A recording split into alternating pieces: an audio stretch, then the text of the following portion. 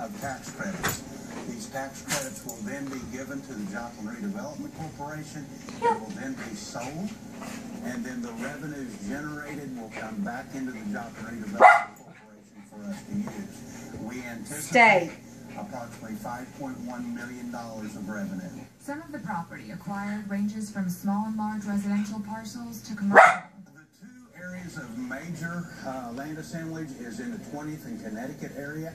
Uh, there's approximately 24 acres over there. Uh, that's where the library movie theater, the Loftover retail, and hopefully the uh, grocery store it. uh, will be.